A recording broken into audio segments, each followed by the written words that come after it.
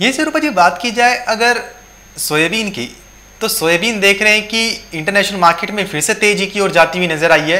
Soybean की कीमतों ने फिर से रिकवरी दी है और अच्छी खासी रिकवरी दी है एक से दो ट्रेडिंग सेशंस के अंदर अंदर ही। 1600 डॉलर के ऊपर फिर से कीमतें निकली हैं, अच्छी खासी बढ़त है। ऐसे में आपको क्या लगता है? अमेरिका में इस बार जैसे रिकॉर्ड उत्पादन हो सकता है, बुआई का जो रकबा है, सोयाबीन का वो बढ़ाया जा रहा है अमेरिका के अंदर। अर्जेंटीना और ब्राज़ील में लगातार उत्पादन अनुमान में कटौती की जा रही है। वहीं भारत में किसानों ने सोयाबीन को स्टॉक किया हुआ है और विदेशों में कीमतें बढ़ रही हैं।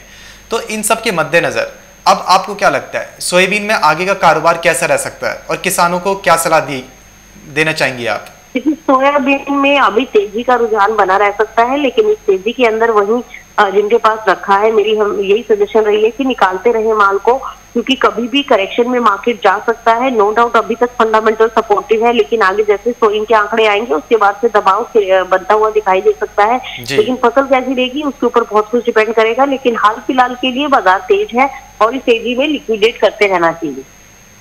जी।